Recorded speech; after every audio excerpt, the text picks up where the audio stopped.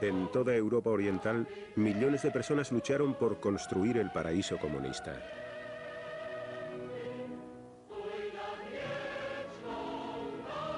Se esforzaron por cumplir las órdenes y las prohibiciones dictadas desde Moscú.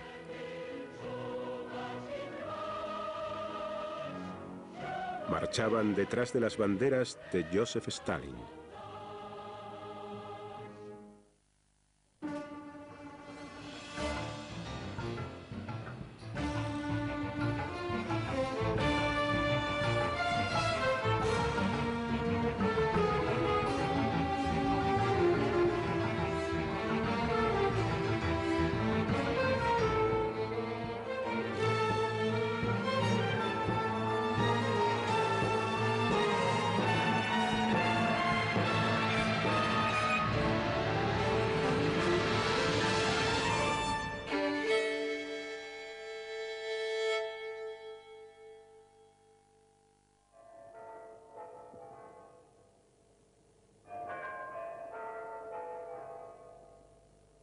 Marzo de 1953.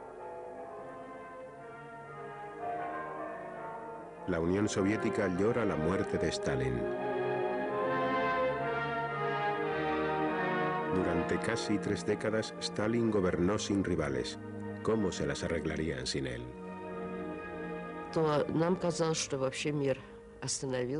Sentía como si todo el mundo estuviera a punto de venirse abajo. Nos preguntábamos qué nos sucedería.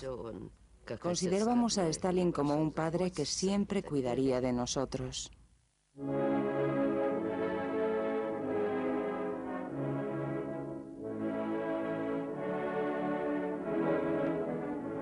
Stalin murió sin haber designado un sucesor. Un liderato colectivo emergió encabezado por Georgi Malenkov, Lavrent Iberia, Vyacheslav Molotov y Nikita Khrushchev.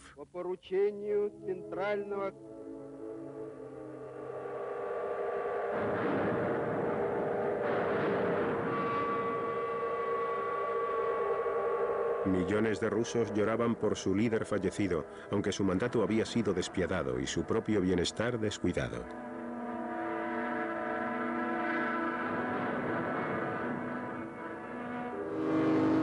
Stalin había transformado a la Unión Soviética en una superpotencia. Pero en el momento de su muerte, las relaciones con los Estados Unidos pocas veces habían sido peores. For 10 years, the world has been dominated by the malignant power of Stalin. A new era begins, an era in which the guiding spirit is liberty, not enslavement, and when human relations will be those of fraternity, not Estados Unidos también tenía un nuevo gobierno. El presidente Eisenhower, el secretario de Estado Dulles y el vicepresidente Nixon prometieron que harían retroceder las fronteras del poder soviético.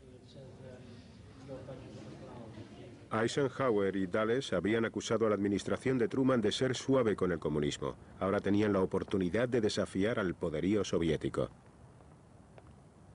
Pero ¿podría la Europa del Este ser liberada de la dominación soviética sin una guerra nuclear? Dulles habló de liberación, pero Eisenhower insistió en que cuando lo hiciera, lo asociara con métodos pacíficos.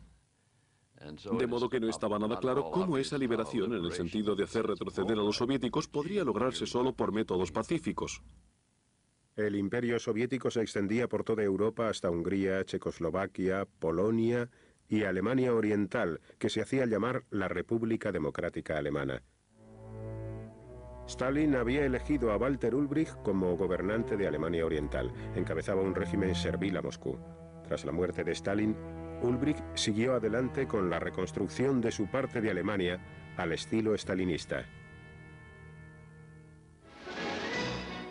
Und unsere Straße veränderte ihr Gesicht. Wo vor Monaten noch Ruinen standen, waren Konstrukteure, Maurer und Zimmerleute an der Arbeit. La industria pesada se desarrolló para satisfacer las demandas de la economía soviética. Se ordenó a los trabajadores que aumentaran su rendimiento. Las necesidades cotidianas fueron descuidadas. Äh, La gente corriente vivía muy mal. Si hablamos de las cosas que todo el mundo necesita, como la calefacción, el carbón y la electricidad, todas estaban racionadas.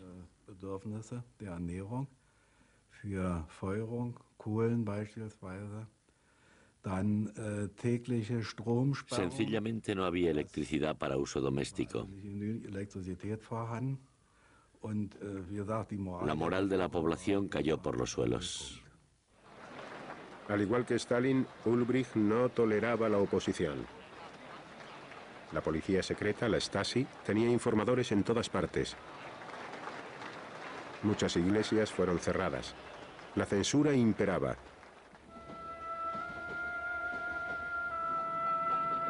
Pero Alemania Oriental no era capaz de evitar que la gente huyera hacia el oeste. Los alemanes orientales podían viajar libremente a los sectores británico, norteamericano y francés de Berlín. Miles de ellos simplemente hacían sus maletas y se marchaban.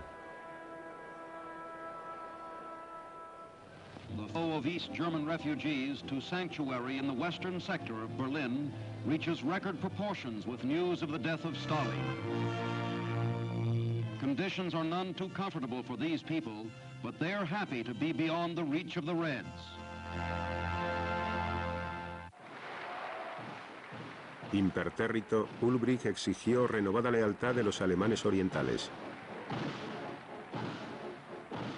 Alarmados, los nuevos líderes del Kremlin ordenaron a Ulbricht que suavizara su rígida política.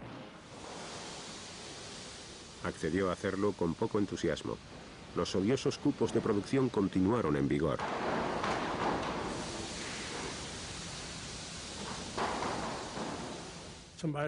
Si cronometraban el tiempo que empleabas en hacer un tornillo y te tomaba cuatro minutos, ahora se esperaba que lo hicieras en dos minutos y medio. Aquello era lo más horrible, el aumento en las cotas de producción y cómo te presionaban para que produjeras. Era demasiado para los trabajadores. La ira popular estalló los trabajadores tomaron las calles de Berlín Oriental. Cuando pasamos por delante de las obras, todos, metalúrgicos, cerrajeros, albañiles, carpinteros, todos se unieron a nosotros. Cuando llegamos al hospital de la ciudad, había reunidos varios cientos de miles de personas. Aparecieron pancartas en las obras en las que se leía, abajo el aumento en las cotas de producción. Las noticias del creciente malestar pronto se difundieron en Berlín Occidental. Estaba comiendo en un restaurante al aire libre en Berlín Occidental el 16 de junio, cuando un amigo que trabajaba en el gobierno militar y probablemente en inteligencia pasó en su coche y me dijo, Charles, deberías estar en Berlín Oriental.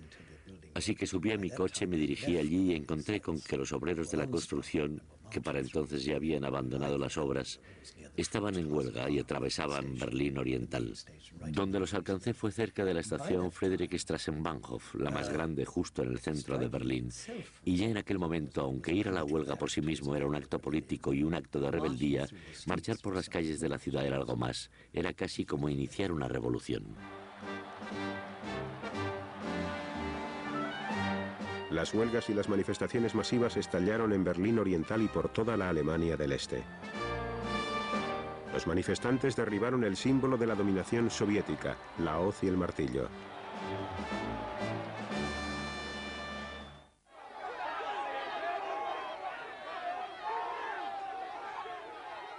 La autoridad del gobierno en Berlín Oriental se vino abajo.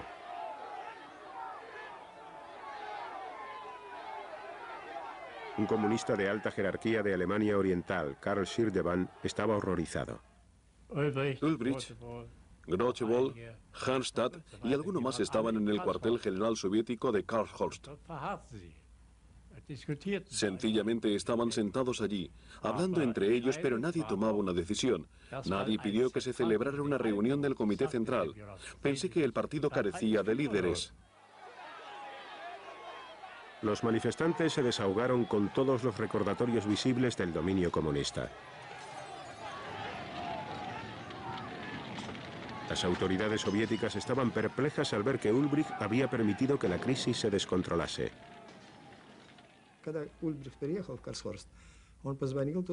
Cuando Ulbricht llegó al cuartel general soviético de Karl Scholz, llamó por teléfono a Karl Shirevan y le preguntó qué estaba sucediendo. Shirevan le comunicó que había muchos borrachos entre la multitud, que estaban rompiendo las ventanas y estaban a punto de entrar. Ulbricht colgó el teléfono y dijo en alemán, todo ha terminado. Lo dijo de una forma que en ruso se traduce aproximadamente como es el fin. Me preguntaba qué significaba todo aquello. Aun cuando estuvieran rompiendo ventanas, carecían de armas. Nos bastarían menos de cinco minutos para meterlos en cintura. Estaban intentando elegir un comité de huelga de entre los líderes de los trabajadores cuando los tanques entraron en la plaza de cuatro en fondo y arremetieron directamente contra la multitud. Y recuerdo cómo un hombre cayó y fue aplastado por uno de los tanques. Werkzeuge der Gewalt gegen die Freiheit. Mit dem Mut Verzweifelter gehen die Arbeiter mit Eisenstangen und Steinen auf die Panzer los. Der Ruf nach Einheit und Freiheit erschallt noch lauter. Da peitschen die ersten Schüsse durch die Straßen.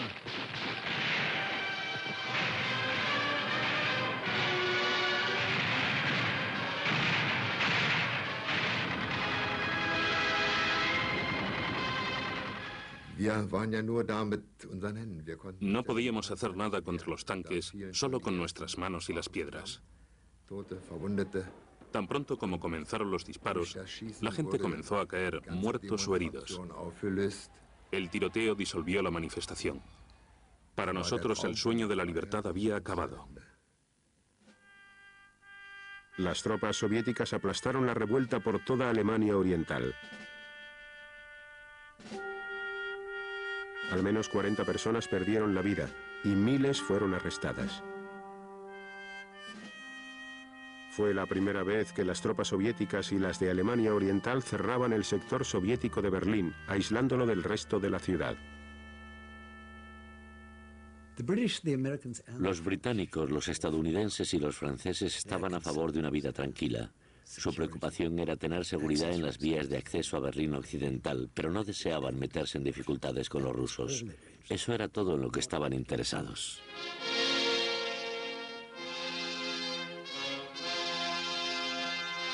Con la situación estabilizada, los gobernantes de Alemania Oriental salieron hacia Moscú.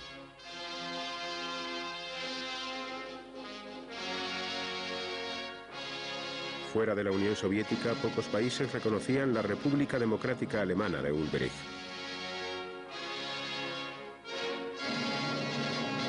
En el Kremlin, el omnipresente Molotov firmó otro acuerdo con los alemanes.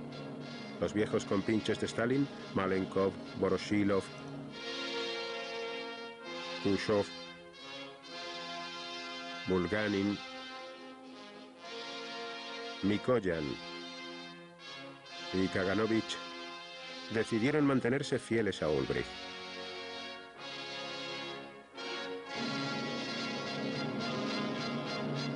Cuidadosamente organizado para las cámaras, el Politburo se despidió y deseó buena suerte a sus camaradas de Alemania Oriental.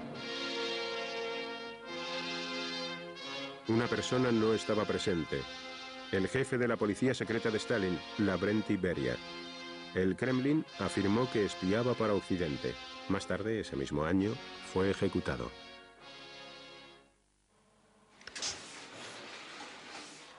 En septiembre de 1953, Konrad Adenauer fue reelegido canciller de Alemania Occidental.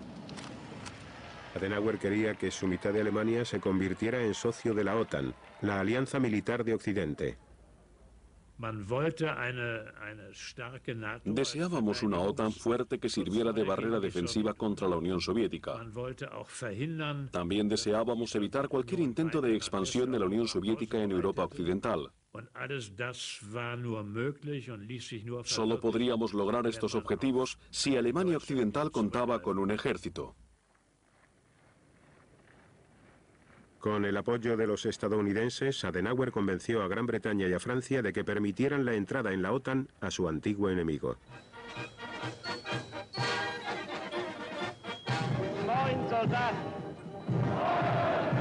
En 1955, a Alemania Occidental le fue permitido crear un ejército.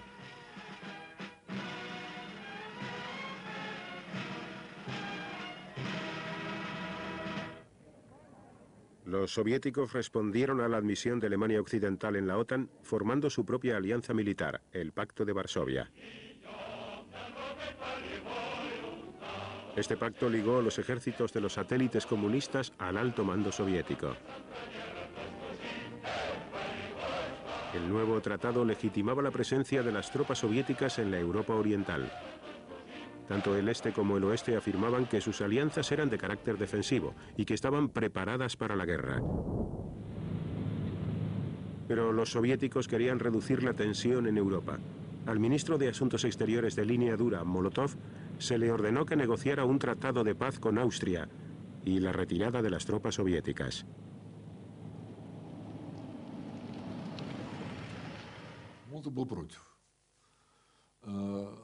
Solo Molotov se expresó en contra.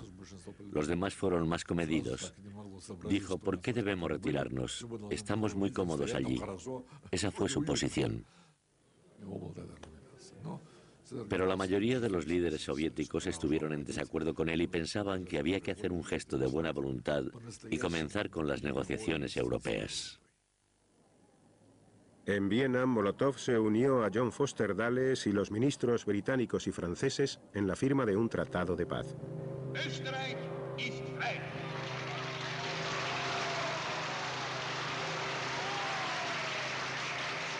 Gran Bretaña, Francia, Estados Unidos y la Unión Soviética acordaron dar por finalizada su ocupación militar de Austria. A cambio, los austríacos prometieron una neutralidad permanente. Diez años después del final de la Segunda Guerra Mundial, Occidente y la Unión Soviética retiraron sus tropas. En algunos, su partida alentó las esperanzas de que algún día las tropas soviéticas también se retiraran de Europa del Este. En la lucha por el poder en el Kremlin, Khrushchev se había mostrado más hábil que Malenkov y Molotov. En 1955 había encabezado una delegación soviética a Yugoslavia. Khrushchev quería reparar el perjuicio causado por Stalin al expulsar a la Yugoslavia del presidente Tito del bloque comunista. Mi padre pensó que aquella gente había luchado contra el fascismo y que era el único país en Europa que realmente había ganado, no con la ayuda de la Unión Soviética, sino por sí mismo. Así que pensó que tenía que ir allí, no invitar a Tito a venir a la Unión Soviética, porque éramos un país grande y teníamos que demostrar que nos habíamos equivocado. La Yugoslavia de Tito siguió siendo el único país comunista en Europa independiente del Kremlin.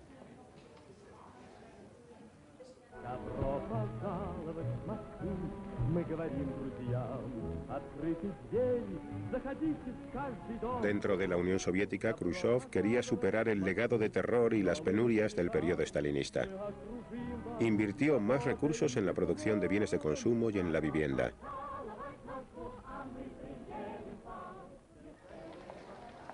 Miles de presos políticos fueron liberados del Gulag. Mi padre creía firmemente en el comunismo. Para él era el mejor tipo de vida para el pueblo, exactamente como el cielo en la tierra, y repetía con frecuencia que era imposible vivir en un cielo rodeado de alambradas. Khrushchev hizo uso del vigésimo Congreso del Partido Soviético para poner fin a la adoración de Stalin y puso al descubierto las crueldades de su dictadura. Durante una sesión secreta, Khrushchev pronunció un discurso que dejó estupefactos a todos los presentes. Cuando pronunció su discurso, la gente en la sala comenzó a refunfuñar.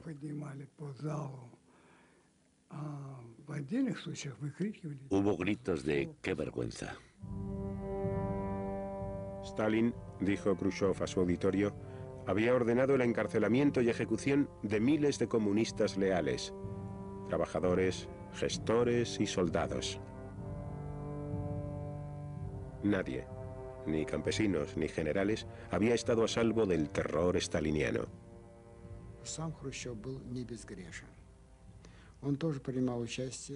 El mismo Khrushchev no estaba exento de culpa. Él había tomado parte activa en la represión de Stalin en Ucrania y en otras partes del país.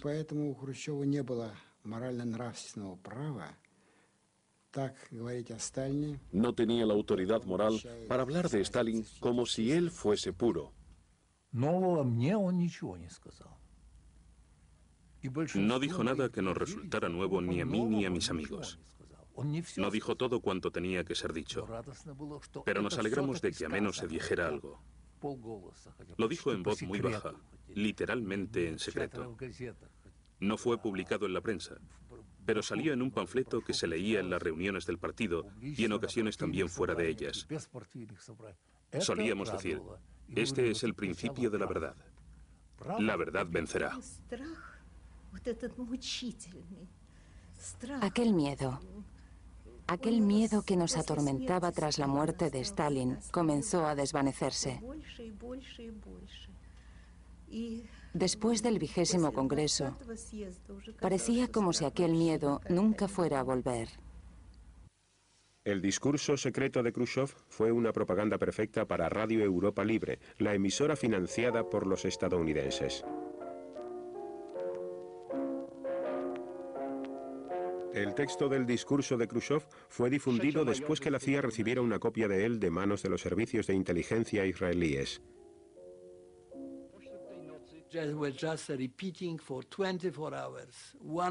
Repitieron aquel discurso de una hora una y otra vez durante 24 horas. Iba dirigido a la gente del partido, a quienes les habían lavado el cerebro e inducidos a creer que Stalin era Dios, que no podía cometer errores y que todo cuanto hacía era infalible. De pronto su fe, su religión se vino abajo. Polonia era territorio fértil para el mensaje de Radio Europa Libre.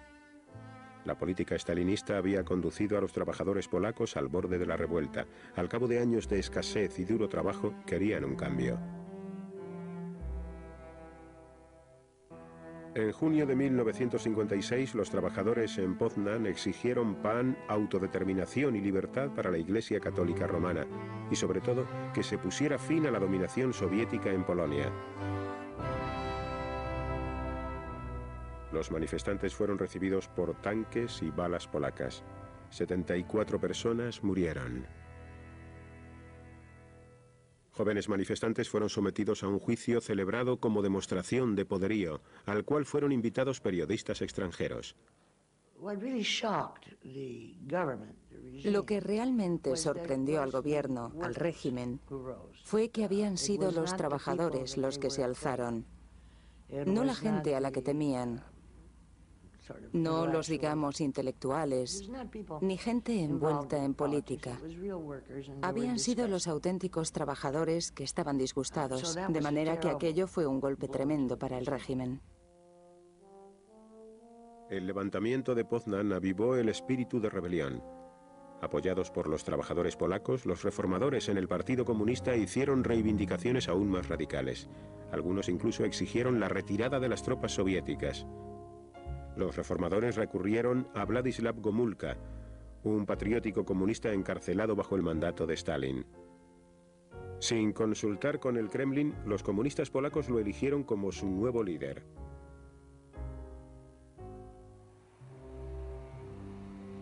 Temiendo una revuelta antirrusa, Moscú ordenó a las tropas soviéticas que avanzaran sobre Varsovia.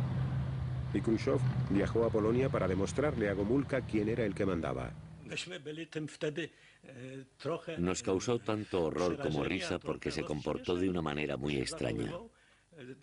Iba de un lado para otro amenazándonos con el puño. Nos acusaba de querer escindirnos y dijo que no lo permitiría. Se portó francamente mal. Mientras Gomulka y Khrushchev discutían, las tropas soviéticas se apostaron preparadas para atacar. Estados Unidos miraba pasivamente. You're about to see the Secretary of State, John Foster Dulles, face the nation with questions from veteran correspondents representing the nation's press. On the 17th of June 1953, Mr. Secretary, the people of East Germany rose against the communist regime, and the Russians were able to come in and repress, suppress the uprising by means of armed force. Uh, we, at that time, sat back and allowed this to happen. Would we sit back again in a similar fashion if this, uh, if this kind of uprising were to take place in Poland?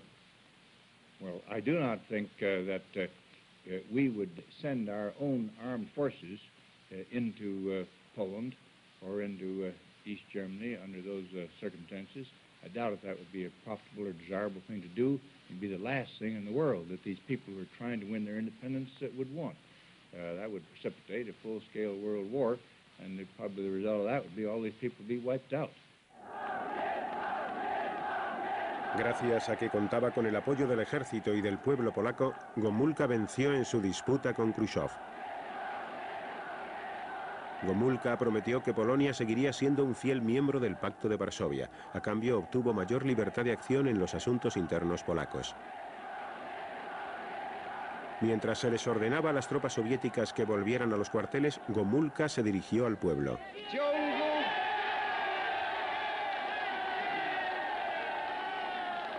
W ciągu ubiegłych lat nagromadziło się w życiu Polski wiele zła, wiele nieprawości i bolesnych rozczarowań.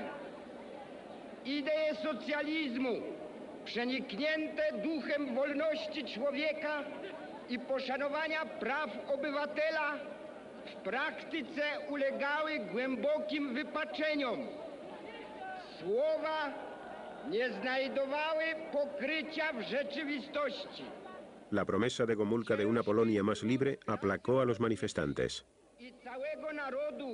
Gomulka mi opowiadał, że parę lat potem Varios años más tarde, Gomulka me dijo que había sostenido una conversación con el mariscal soviético Zhukov, que había estado bebiendo. Este le dijo, estábamos tan bien preparados que pudimos haber estado por toda Polonia en tres días. Teníamos planes muy pormenorizados.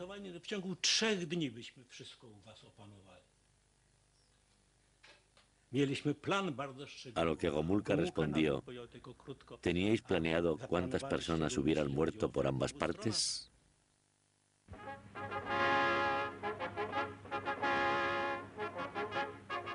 Marx, Engels, Lenin, Stalin zászlaja alatt előre a béke a népek szabadságának szent ügyéért. Tras la muerte de Stalin, Hungría había permanecido bajo la de Rákosi. Había un dicho en aquella época, una especie de chiste que decía, solo hay tres clases de gente en Hungría, los que han estado en prisión, los que están en prisión y los que estarán en prisión por razones políticas. Al igual que Stalin, Rákosi mataba y encarcelaba a sus rivales, pero se suponía que el pueblo victoreara y se conformara.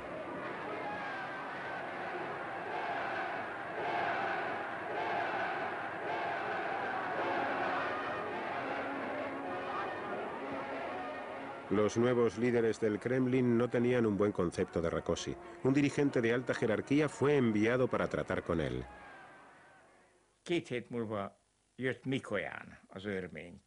Mikoyan, el trapichero húngaro, llegó. Rákosi y yo fuimos a recibirlo al aeropuerto en coche. Casi habíamos llegado al pabellón de huéspedes cuando se giró hacia Rakosi y le dijo, el liderato soviético ha decidido que usted está enfermo.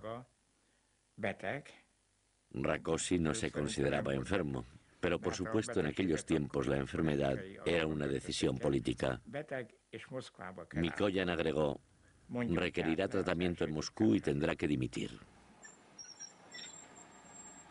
Los soviéticos consintieron en que Andras Hegedus continuara siendo primer ministro, pero los reformadores en el Partido Comunista Húngaro buscaron un líder más independiente de Moscú.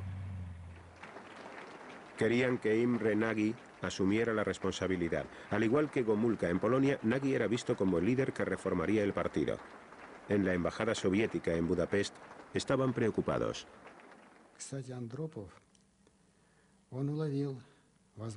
El embajador Andropov intuyó el peligro potencial y se lo advirtió a Moscú. Envió muchos telegramas, hizo llamadas telefónicas e incluso fue en persona a Moscú. Intentó avisar a todo el mundo, pero todo fue en vano. Khrushchev pensó que podía hacerle frente a la situación.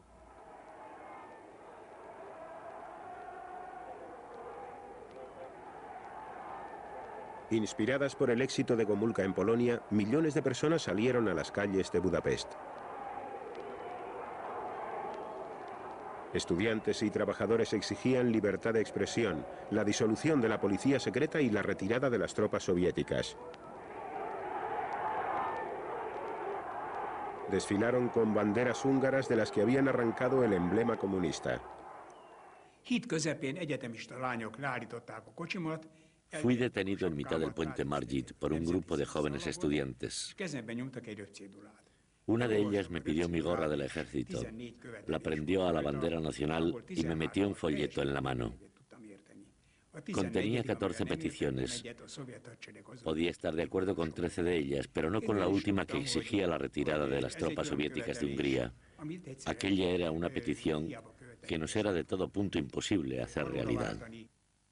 Los manifestantes llevaban retratos de Imre Nagy. Los reformadores comunistas le pedían con insistencia que se hiciese cargo de la situación. Imre Nagy fue bruscamente sacado de su casa y llevado al Parlamento. Y allí habló durante algunos minutos. Comenzó diciendo, camaradas, y entonces la multitud rugió y dijo, no somos camaradas. Nagy había juzgado mal el estado de ánimo popular. Los húngaros querían un cambio inmediato y radical. En el centro de Budapest, una excitada multitud tiraba los monumentos dedicados a Stalin. Nagy permaneció en silencio cuando el tambaleante liderato comunista de Hungría apeló al Kremlin para que aplastara el creciente malestar. Recibí una llamada telefónica de mi comandante en Segled. Me dijo, tenemos que ir a Budapest, es urgente. Le pregunté cuáles eran mis órdenes y me dijo que mis órdenes me serían dadas cuando llegase a la ciudad.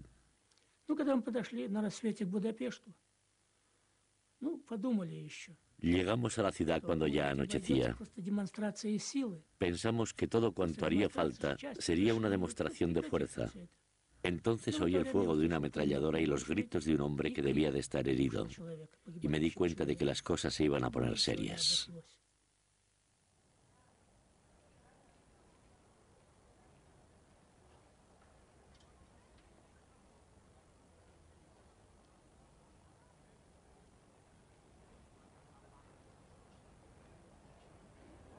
Civiles armados habían evitado que los refuerzos de los tanques rusos entraran en Budapest.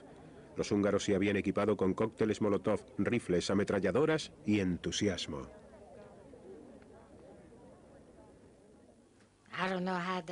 No sabía cómo funcionaban las armas, pero un hombre mayor llamado Pista Bachi me dijo, no te preocupes por eso, yo te enseñaré. Y entonces miré el arma y era más grande que yo. Me explicaron cómo funcionaba y me hicieron un par de demostraciones y tuve que utilizarla por primera vez. Cerré los ojos porque tenía miedo. Jamás había usado un arma. Entonces miré a mi alrededor y vi a un par de soldados que se estaban arrancando las estrellas del uniforme. Eran estrellas rusas y se las estaban arrancando. Luego me dijeron, no te preocupes, jovencita, nosotros cuidaremos de ti.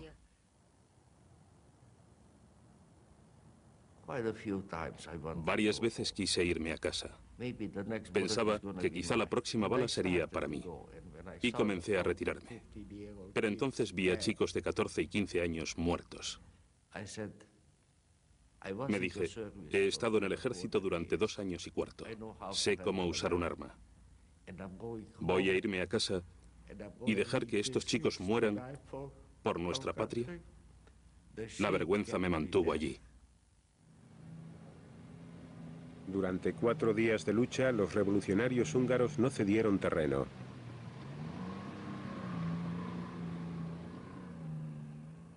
Hubo numerosas bajas en ambos bandos. Imre Nagy acordó un alto el fuego. Los soviéticos estuvieron de acuerdo en retirar sus tropas de Budapest. El Kremlin confiaba en que Nagy, ahora primer ministro, pudiera devolver la autoridad a los comunistas. Pero el patriota que Nagy llevaba dentro estaba saliendo a la luz. Prudentemente decidió apoyar a los revolucionarios húngaros.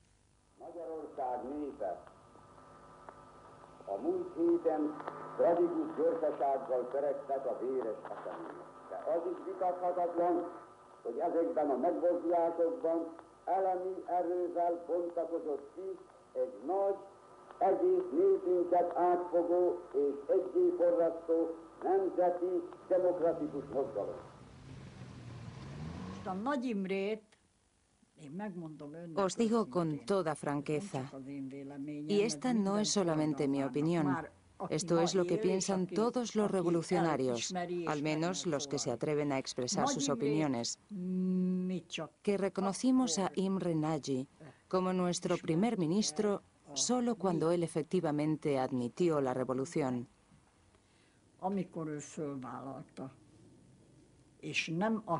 Él proclamó, esta no es una contrarrevolución, esta es una lucha por la libertad.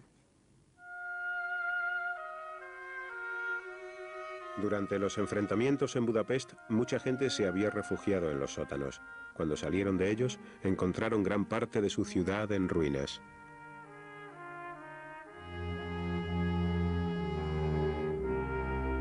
Los húngaros creyeron que habían ganado su revolución. Salieron para llorar a sus héroes muertos.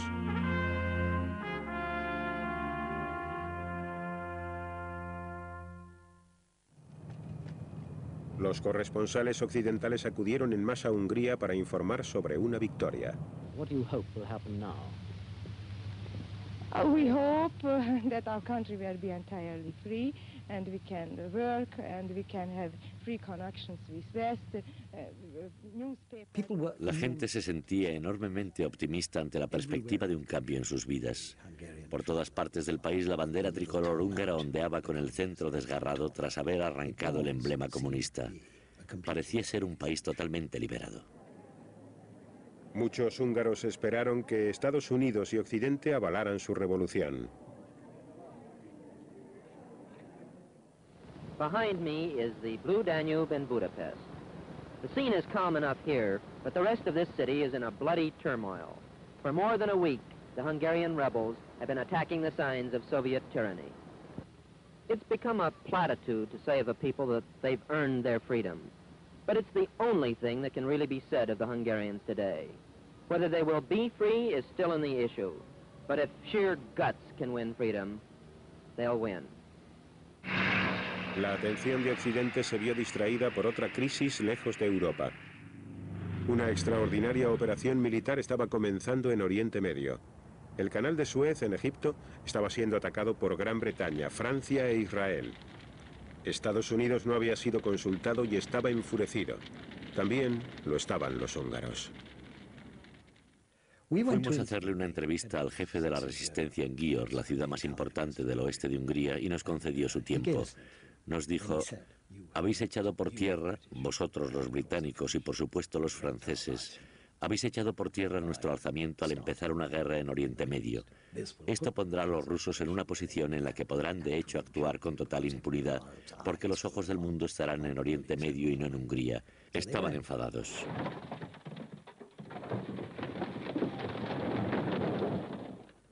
Con el ejército soviético ya fuera de la ciudad, los revolucionarios de Budapest se vengaron.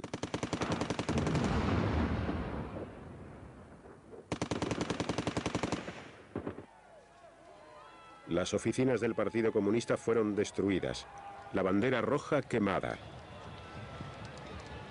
Miembros de la policía secreta fueron linchados.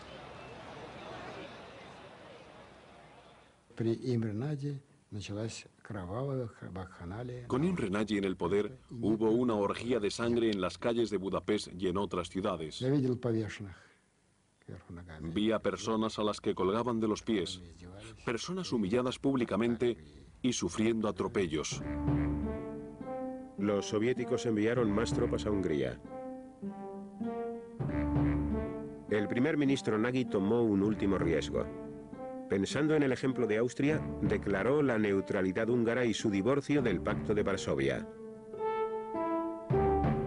Confiaba en que la presión internacional evitara que los soviéticos aplastaran la revolución.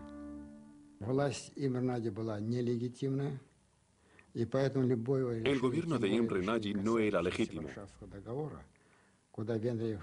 Por consiguiente, cualquier decisión que tomara con respecto al Pacto de Varsovia, al que Hungría se había incorporado de acuerdo con sus propias leyes, era, por no decir algo peor, nula. Otros estados comunistas, especialmente China, instaban a Khrushchev a que usara la fuerza. Fue una decisión muy complicada para mi padre, que estuvo meditando durante tres o cuatro días. Hablaba con los chinos, con otros representantes, y en algunos momentos decidió no usar la fuerza y dijo que no. ¿Tenemos que usar la fuerza? Sí, no, sí, no. Al final se decidió usar la fuerza.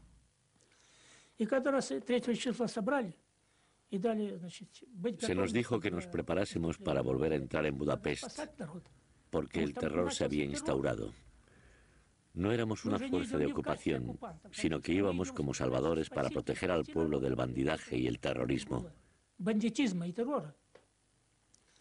Sabíamos que los americanos podrían entrar en la ciudad desde el oeste. Le preguntamos a nuestro comandante si aquello podría significar la guerra y nos respondió, sí, este podría ser el inicio de la Tercera Guerra Mundial.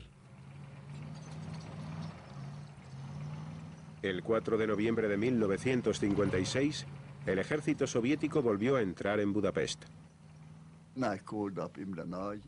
Llamé a Imre Nagy y entonces le dije, Señor primer ministro, todas las señales que observamos, el despliegue masivo de tropas, el fuego ilimitado, y ahora el ataque contra el perímetro más externo de Budapest. Todo esto me sugiere que estamos en guerra con la Unión Soviética.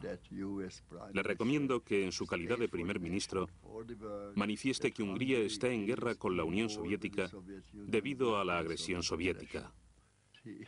Prácticamente me echó una regañina y dijo, nada de guerra contra la Unión Soviética.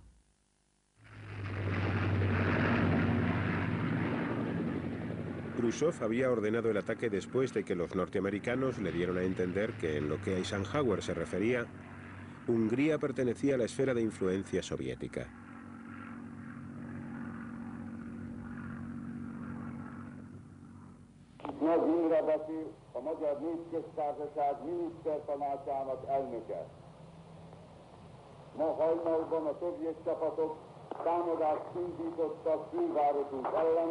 Azzal a nyilvánvaló szándékkal, hogy megdöntsék a törvényes magyar demokratikus kormányt. Los combatientes húngaros esperaron en vano la ayuda de Occidente. Y el hecho de que si Occidente intervenía, corríamos el riesgo de generar una guerra mundial.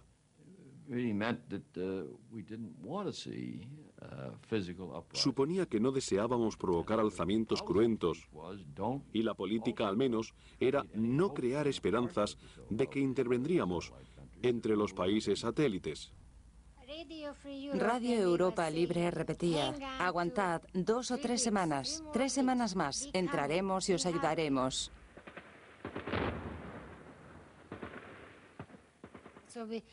De manera que luchamos hasta agotar nuestra última bala, hasta derramar nuestra última gota de sangre. Y lo que sucedió fue que nos estaban mintiendo y nadie vino. La revolución húngara fue aplastada.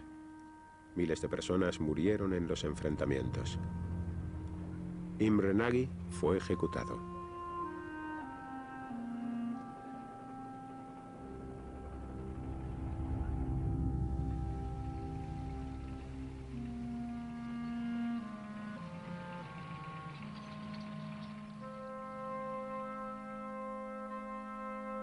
200.000 húngaros huyeron a Austria antes de que la frontera fuera cerrada por la Unión Soviética.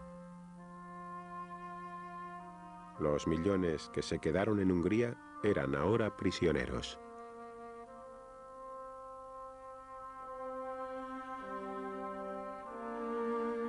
Khrushchev había hecho valer una vez más el telón de acero.